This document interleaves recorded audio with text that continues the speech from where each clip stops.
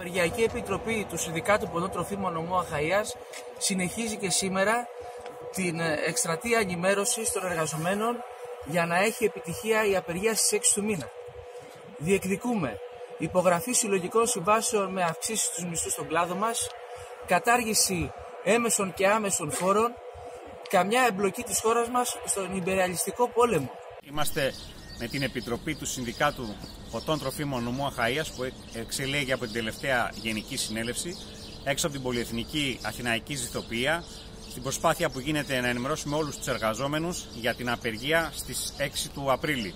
Μια απεργία που διεκδικούμε υπογραφή συλλογικών συμβάσεων εργασίας, επαναφορά των τριετιών, κατάργηση του αντεργατικού νόμου Χατζηδάκη, μείωση του ΦΠΑ σε όλα τα είδη πλατιάς λαϊκής κατανάλωσης.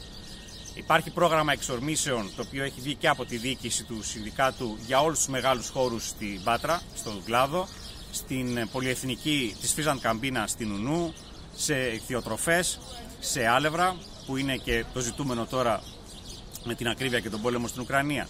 Τα μηνύματα που παίρνουμε από τους εργαζόμενους είναι θετικά. Πολλοί εργαζόμενοι δήλωσαν ότι θα συμμετάσχουν στην απεργία και παλιοί εργαζόμενοι αλλά και νέοι εργαζόμενοι που έχει φτάσει η κατάσταση στο προχώρητο και κάνουν το βήμα για πρώτη φορά. Και συνεχίζουμε δυναμικά κλιμακώνοντας με τις περιοδίες μας στου χώρους εργασίας μέχρι και, την απεργιακή φρουρά της 6, το πρωί της 6 Απριλίου.